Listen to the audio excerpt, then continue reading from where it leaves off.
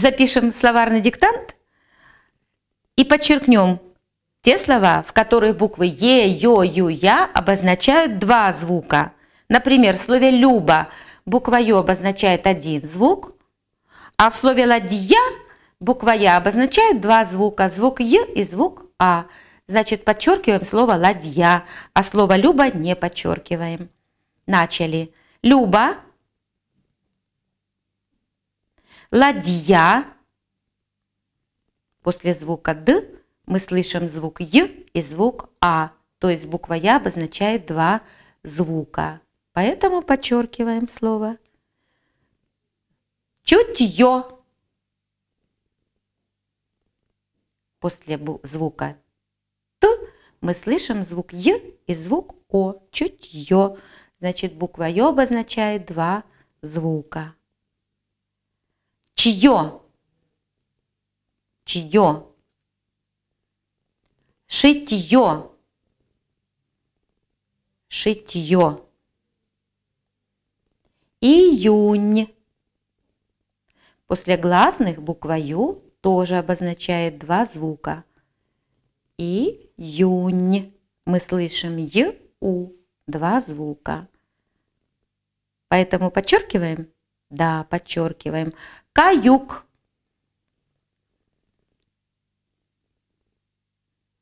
Краюха. Краюха. То есть кусочек хлеба, например. Краюха. Кроют.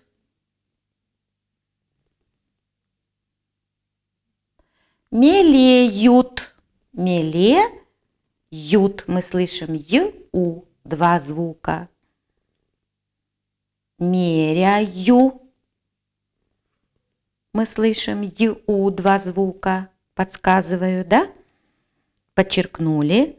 Язык. И запомнили, что в начале слова буква Я обозначает два звука. Вспомнили. Язык. Яйцо. Опять в начале слова буква Я. Ее, Ию, обозначает два звука. Яичница. Произносим, а пишем яичница. Якоть. Якоть. Это значит выделять себя, свое «я». Якоть. Якорь. Мы слышим в начале слова – Буква Я обозначает два звука Й, А. Якорь. Подчеркиваем, верно? Верно. Карамель. Карамель. Здесь мы не слышим. В букве Е два звука. Просто М мягкий, согласный, а потом один звук. Карамель. Так что не подчеркнули. Верно. Проверяем. Люба ладья, чутье, чье, шитье, июнь, каюк, краюха, кроют, мелеют, меряю, язык, яйцо, яичница, якоть, якорь, карамель. Справились.